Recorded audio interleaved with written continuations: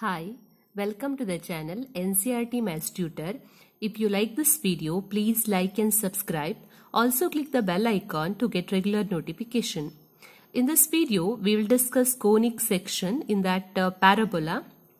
So here, to understand parabola, let us take a fixed point as well as a fixed line. So here, this is the fixed point I have taken and this is the fixed line I have taken. Now, from this fixed point and fixed line, we will consider some set of points.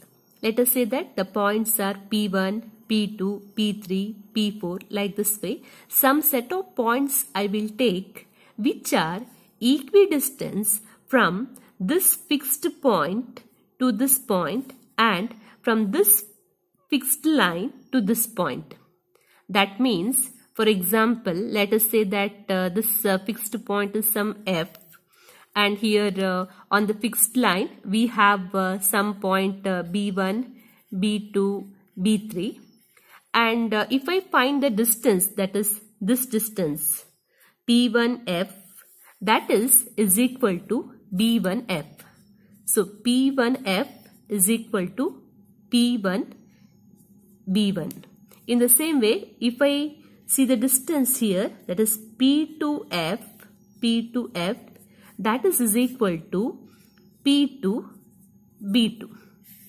Then this distance, that is P3F, is equal to P3, B3. So like this way, let us say that we have considered so many points. So here we have so many points. So all these points are the set of points which are equal distance from this fixed point as well as from this fixed line. That is P1F is equal to P1B1, P2F is equal to P2B2, P3F is equal to P3B3. That is this distance as well as this distance is equal. This is equal with this one and this is equal to this one.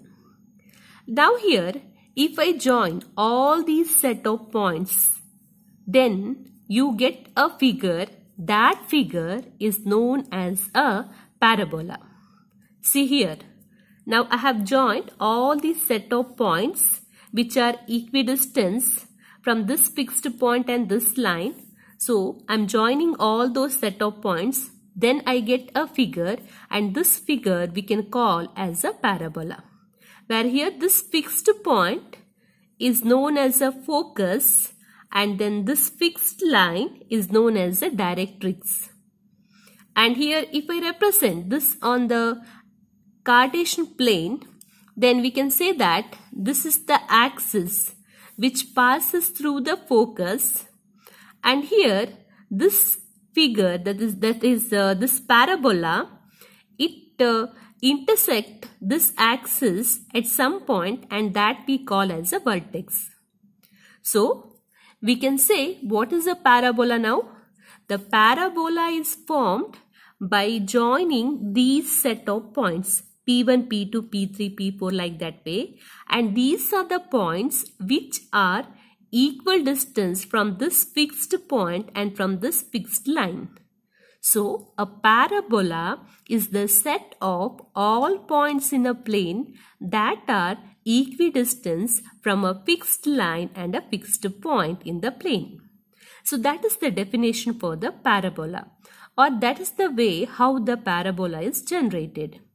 Now, with respect to this parabola, we have some of the parameters. See, the first one is the directrix. The directrix means, see in this case, I have taken this fixed line. So this fixed line we call as a directrix. Then next one is focus. Focus means the fixed point which we have taken that is known as a focus. Then we have axis. Axis means it is the line that passes through the focus and perpendicular to the directrix. See, you can see that this axis, this line passes through the focus and it is perpendicular to the directrix. Then we have a vertex. The vertex is the point of intersection of parabola with the axis.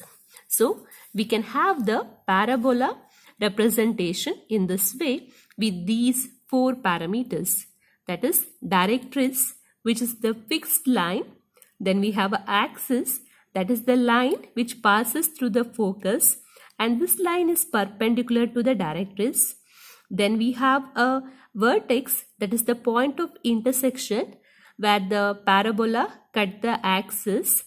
Then we have a directrix that is the fixed line. Thanks for watching.